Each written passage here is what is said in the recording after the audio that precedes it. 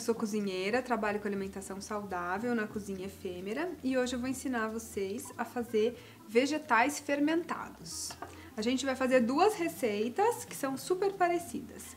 Uma é de vegetais fermentados no miso e a outra é de vegetais fermentados no rejuvelac, que é esse líquido aqui, que é um líquido de grão germinado, fermentado. Bom, então eu vou apresentar para vocês. É, o trigo ou centeio germinado é o que a gente vai usar para poder fazer o rejuvelac. E aí a gente hoje vai fazer com cenouras. Então, essa daqui é uma receita. A outra receita são as mesmas cenouras e miso. Bom, quando a gente vai fazer os vegetais fermentados no Rejuvelac, a gente vai precisar de um vidro, como esse daqui, ou maior ou menor, conforme a quantidade que você quer fazer. E a gente vai encher esse vidro de vegetais frescos, cortados, e aí a gente vai cobrir totalmente os vegetais com o Rejuvelac. Quando a gente vai fazer os vegetais no miso, uma medida básica é, para cada meio quilo de vegetais, que você pode usar só cenoura, ou pode misturar cenoura com nabo, ou usar quantos vegetais você quiser, ou fazer vários outros tipos, eu uso meio quilo de vegetais para 100 gramas de miso, que é mais ou menos duas, duas e meia colher de sopa. Bom, então a gente vai cortar aqui, num fatiador, a cenoura bem fininha.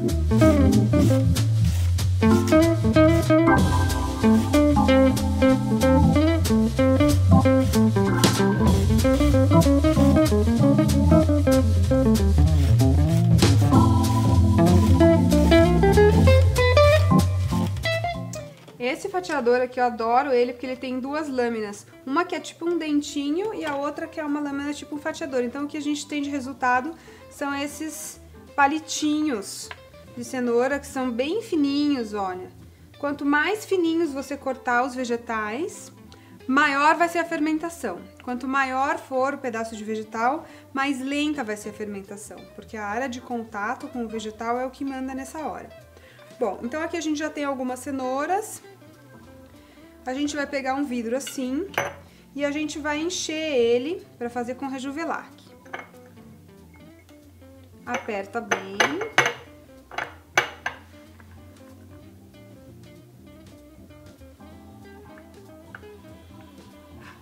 O ideal é que a gente encha bastante o vidro e deixe ele bem cheinho para poder aproveitar bastante o espaço. Uma vez que a gente tem o vidro bem cheio, a gente vai pegar o rejuvelac e despejar até cobrir toda a cenoura. Muito bem. Dá uma batidinha e uma chacoalhadinha para sair todo o ar Tá vendo? Tem umas bolinhas saindo.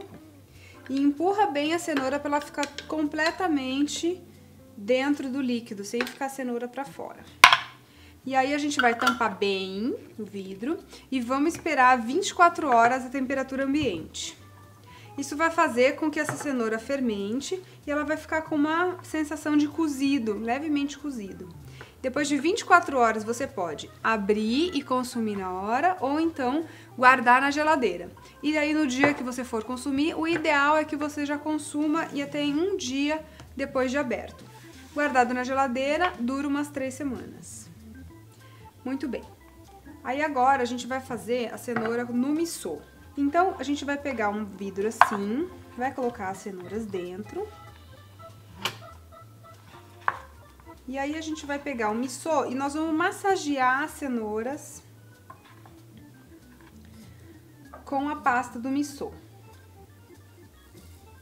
Como a gente aqui não tá fazendo com a medida certa, eu vou pegar só um pouquinho e aí a gente vai apertando devagarinho, porque a nossa intenção aqui não é quebrar os bastonetes que a gente acabou de cortar, né? Então a gente vai delicadamente qual que é o objetivo? O objetivo é ter a cenoura toda lambuzada de miso em todos os lados, mas não uma placa de miso em volta. É uma coisa sutil. Olha só, essa quantidade que a gente colocou já é uma quantidade super boa. Então você vê que depois de massageada, a cenoura ela tá toda envolvida com o miso, bem misturadinha, né? Não tem nenhuma placa em volta de muito miso em volta da cenoura mas também toda a cenoura tá em contato com o missô. Viu?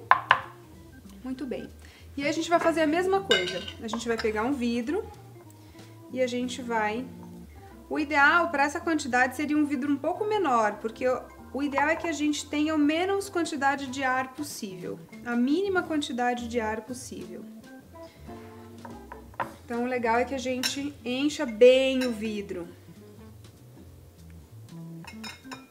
Então, com o vidro bem cheio, a gente vai tampar e a gente vai tampar bem e vai esperar também 24 horas a temperatura ambiente. Para quem gosta bastante de fermentado, pode deixar até 48 horas, que é muito bom. E depois de que tá pronto, vai para geladeira ou então vai para consumo imediato. Na geladeira também pode guardar umas 3 semanas. E aí no dia que abrir é legal consumir dentro de uns 3, 4 dias mais ou menos. Agora a gente vai montar dois pratos, uma salada e uma sopinha para fazer uma sugestão de como que a gente consumiria esses vegetais fermentados. Então a gente vai começar fazendo uma salada. Depois que o vegetal fica fermentado, é, a tampa do vidro fica para fora isso é normal. Isso quer dizer que realmente fermentou, produziu gás e estufou a tampa. Aí quando a gente abre, sempre faz um tss. Escutou? É isso. Esse rejuvelac que tá aqui, a gente pode usar ele para outros, para fazer uma sopinha crua. Pode usar para outros fins. É um líquido fermentado super bom. Como você pode ver, olha só o gás saindo todo agora dele, cheio de bolinhas. Aqui em cima também fazendo uma espuminha. Então, o que a gente vai fazer agora é coar essa cenoura. E aí, essa cenoura aqui, a gente pode usar ela como ela tá, grandinha assim, ou cortar, tanto faz, para poder fazer uma saladinha. Então, quer dizer, ela fica meio molinha assim, porque o processo de fermentação deixa a cenoura meio molinha. Se você tiver cortado ela comprida, dá pra fazer um macarrãozinho de cenoura e tal. Então, eu vou misturar aqui numas folhinhas verdes, pra gente poder fazer uma saladinha. De cenoura fermentada no rejuvelac. É muito simples, pode comer desse jeito mesmo. O importante é a gente nunca esquentar um vegetal que foi fermentado, porque quando a gente esquenta um vegetal, a gente mata toda a, a riqueza microbiológica que ele tem para nos oferecer. Então é só colocar um salzinho, um azeitinho e voilá! A nossa saladinha tá pronta. Agora a gente vai fazer a sopinha. Então, a gente vai fazer a mesma coisa. Ups! Vamos abrir aqui esses vegetais.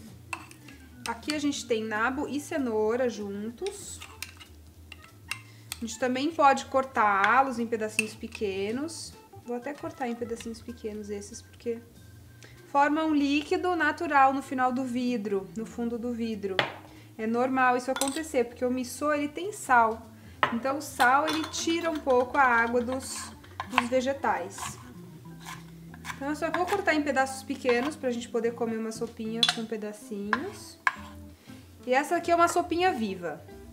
Por quê? Porque a gente vai, não vai passar de 42 graus a temperatura da sopa. Então, a gente vai colocar assim, não é muito, é só um pouquinho de vegetais. Vamos colocar umas folhinhas de salsinha fresca. Essa aqui é a salsinha crespa. Pode colocar óleo de gergelim, se você gosta, que fica ótimo com missô também. Pode colocar pimenta, aí a tempero é a seu gosto. E aí a gente vai colocar uma água morna aqui na sopinha.